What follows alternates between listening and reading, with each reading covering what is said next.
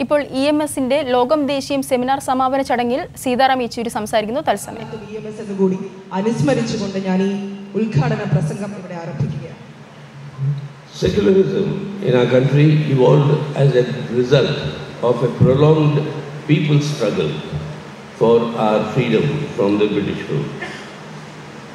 All of us know Indi- India has been and remains a deeply religious society.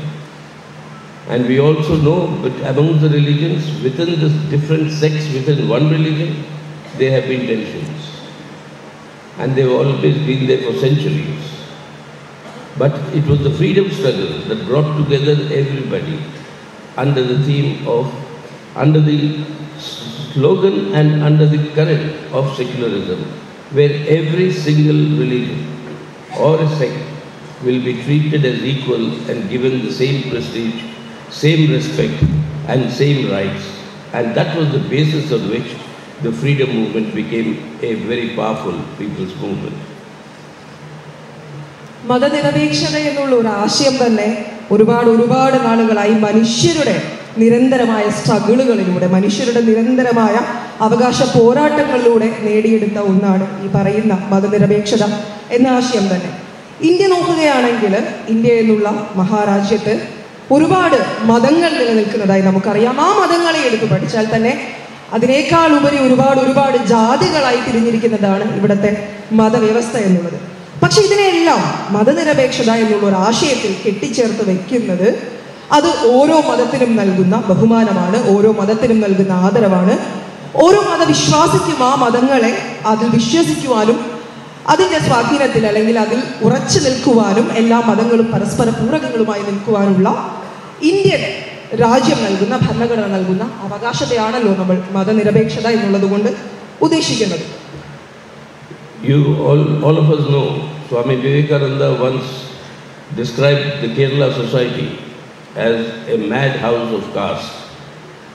He described the divisions within the Kerala society, religious and caste-wise.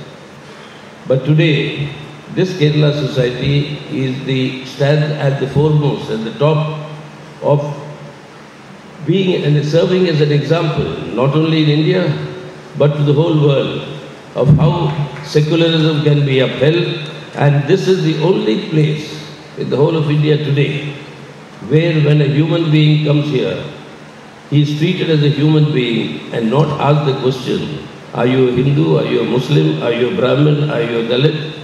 One place in India where such questions are never asked is Kerala. And you have converted Kerala into that position. നമുക്ക് എല്ലാവർക്കും ഓർമ്മയുണ്ടാകും വിവേകാനന്ദൻ ഒരിക്കൽ വിശേഷിപ്പിച്ചിട്ടുള്ളത് കേരളത്തിനെ ജാതികളുടെ മതങ്ങളുടെ ഭ്രാന്താലയമാണ് കേരളമെന്ന് എന്നാൽ അതേ അവസ്ഥയിൽ നിന്നാണ് ഈ കേരളം ഒരുപാട് ഒരുപാട് നവോത്ഥാനത്തിനെല്ലാം ശേഷം പരിണമിച്ച് പുരോഗമിച്ച് ഇപ്പോഴുള്ള അവസ്ഥയിലായിരിക്കുന്നതും ഇന്ത്യയിൽ എന്നല്ല ലോകത്ത് വെച്ച് തന്നെ ഏറ്റവും വലിയ മതനിരപേക്ഷതയുടെ മകുടോദാഹരണമായിട്ട് ഏതൊരു മനുഷ്യനും എന്നും അഭിമാനത്തോടെ പറയാൻ കഴിയുന്ന ഏറ്റവും സേഫ് മോസ്റ്റ് പ്ലേസ് ആയിട്ട് ഏറ്റവും സുരക്ഷിതമായ മതങ്ങളുടെ സംഗമ ഭൂമിയായിട്ട് മതനിരപേക്ഷ ഭൂമിയായിട്ട് ഈ കേരളം നിലകൊള്ളുന്നത്.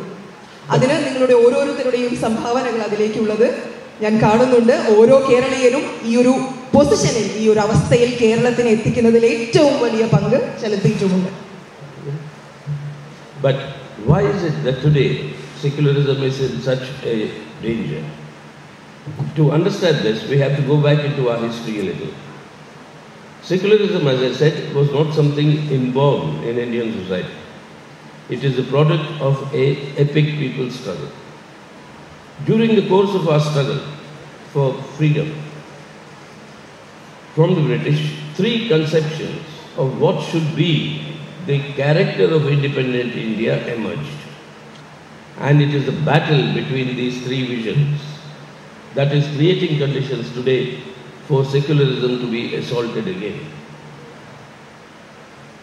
നമുക്കറിയാം ഈ മതനിരപേക്ഷത എന്ന് പറയുന്നത് ഒരു എപ്പിക് പീപ്പിൾ സ്ട്രഗിൾ ആയിട്ട് ഇവിടുത്തെ മനുഷ്യർ ചേർന്ന് സംഘടിതമായി നേടിയെടുത്ത ഒരു സമരത്തിന്റെ ഭാഗമായിട്ട് തന്നെ വന്നതാണ് അല്ലാതെ ആദ്യമേ മുതൽ ഇവിടെ ഉണ്ടായിരുന്ന ഒരു കാര്യമല്ല നമ്മൾ നേടിയെടുത്ത ഒരു കാര്യമാണ്. അതിന് ഇന്ത്യൻ സ്വാതന്ത്ര്യ പ്രസ്ഥാനമാകട്ടെ ദേശീയ പ്രസ്ഥാനമാകട്ടെ അതിൽ വളരെയധികം പങ്ക് ചെലുത്തിയിട്ടുണ്ട്.